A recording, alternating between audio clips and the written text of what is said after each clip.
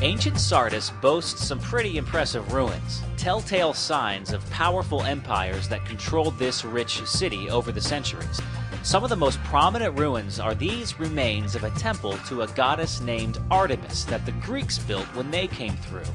It was one of the seven largest Greek temples in the world, more than double the size of the Athens Parthenon. Now, one of the coolest things about ancient Sardis is not this temple to Artemis. It's what they call the Acropolis.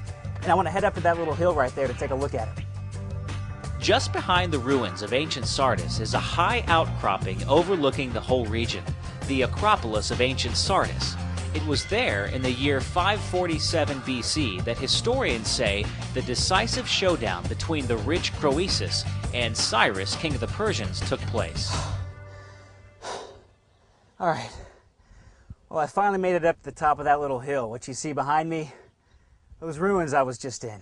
Now, on this side of me, what you have behind me on this side is the Acropolis of ancient Sardis. This was the site of King Croesus' last stand. In order to save his own skin, he and his soldiers retreated behind a fortified citadel on top of the Acropolis, hoping that the height advantage would give them the upper hand against the Persians down below. Cyrus, king of the Persians, offered a reward to any one of his soldiers who could find a way to the top of that mountain to defeat King Croesus and his army. One did just that. They saw a helmet fall from the top of the Acropolis all the way down to the ground. When one of Cyrus's Persian soldiers watched one of King Croesus' soldiers climb all the way down and get the helmet, he watched how he got back up. The way to the top and the point of attack had been discovered. The seemingly impregnable citadel was doomed.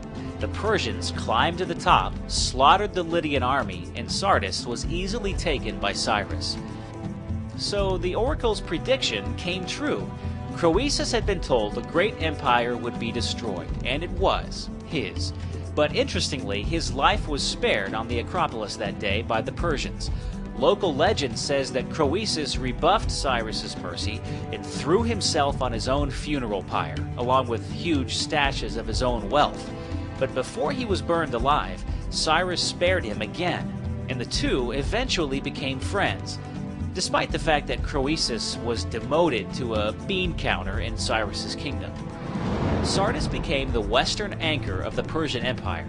But even Cyrus's kingdom wasn't invincible. It was only a matter of time, a couple of hundred years to be exact, before Alexander the Great blitzed through Asia Minor and basically wiped the Persians off the map. Now, when the Greeks came in after the Persians, they built what you see behind me, this pretty huge and amazing worship complex to the goddess Artemis. Now, Artemis was called Diana by the Romans who came in after the Greeks. Now, the Romans, as they so often did, did their little urban renewal program, added a pretty huge gymnasium and a bath complex, both of which I need right now. Sardis came under Roman control in 133 BC and under the rule of Caesar Augustus, the Peace of Rome, or the Pax Romana, kept the city and the whole region generally peaceful. That meant for the ancient inhabitants of Sardis massive city enhancements, and for us that means bigger and better ruins. The big ticket item in Roman controlled Sardis was the gymnasium and the bath complex located not far from downtown Sardis. The ruins of the complex, which have been well preserved, show just how important luxury and recreation was for the Romans.